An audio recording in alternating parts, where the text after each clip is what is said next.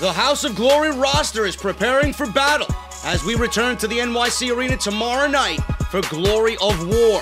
We're going to get you all caught up on what you need to know heading into this event as we wrap up our coverage of Chapter 2 tonight on HOG Live.